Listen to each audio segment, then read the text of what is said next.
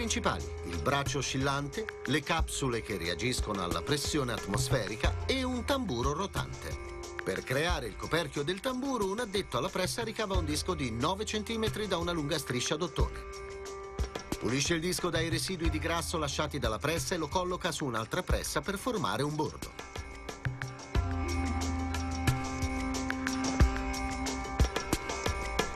Creare il tamburo taglia un cilindro lungo 10 cm da un tubo d'ottone. Poi posiziona il tamburo su un supporto che ruota ad alta velocità. Leviga la superficie dell'ottone usando della lana d'acciaio.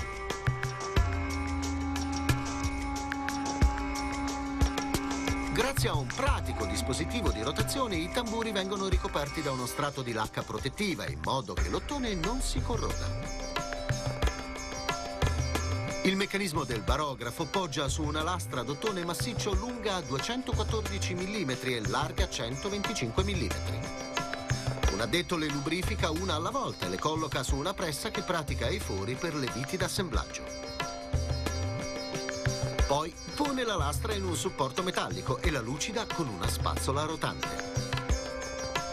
Applica della cera sulla spazzola per ottenere una finitura a specchio.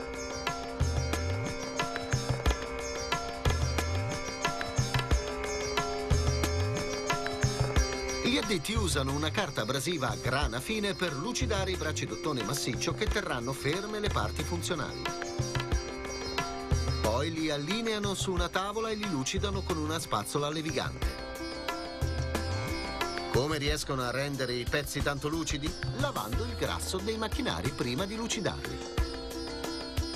Montare un barografo è un lavoro di precisione. Davanti all'assemblatrice ci sono tutte le parti di cui avrà bisogno. Si inizia con un braccio, si inserisce una vite d'ottone, si posiziona un secondo braccio e si fissa il tutto alla base.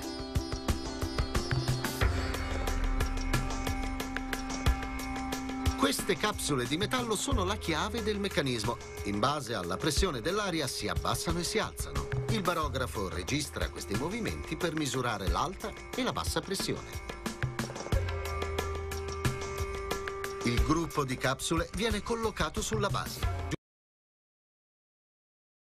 Giunto il sistema di leve che collega il braccio oscillante alla carta.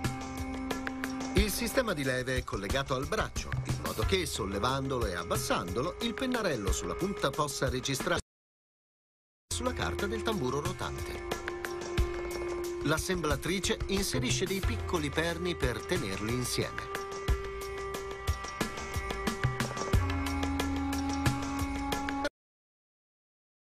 All'interno della base del tamburo la batteria, che conferisce un ritmo costante alla rotazione. Ora avvolge la carta attorno al tamburo e vi collega un gancetto d'ottone per tenerla ferma. In sette giorni. Ruota così lentamente che il movimento lo fa ruotare sull'asse. Una vite d'ottone lo Poi l'addetta colloca il lo avvita e lo copre con un alloggiamento in vetro e mogano. Delle cerniere facile apertura.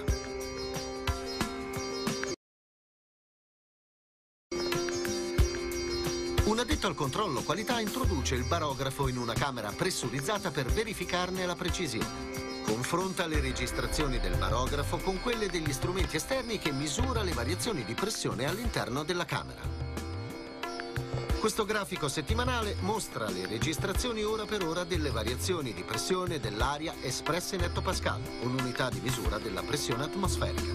Esistono vari tipi di barografo, dai modelli più moderni a quelli più tradizionali in ottone e mogano, che ogni marinaio sarebbe fiero di possedere.